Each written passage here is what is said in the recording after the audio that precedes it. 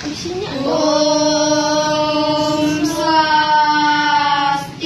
Swastiastu. Kami dari kelompok E dan HEP ak- akan melakukan percobaan hemat energi menggunakan kentang.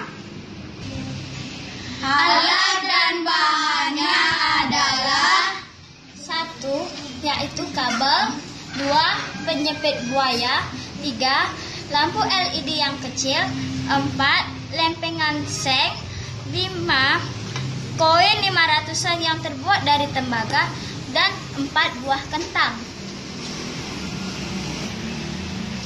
Baik kita mulai langkah percobaannya. Pertama, tancapkan lempengan seng ke kentang. Lalu uang 500-an yang terbuat dari logam. Ta- Tancapkan ke kentang. Baik, langkah selanjutnya yaitu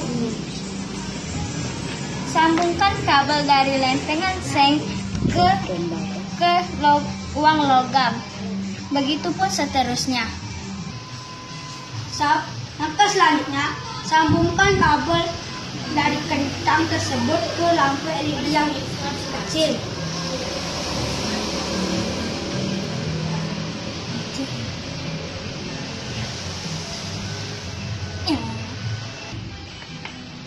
Kabelnya sudah terhubung dengan lampu LED. Karena situasinya yang terang, kita pindah ke tempat yang lebih gelap. Ini adalah bukti bahwa kentang memiliki sumber energi listrik. Sekian dari percobaan kami. Semoga bermanfaat ya. Terima kasih.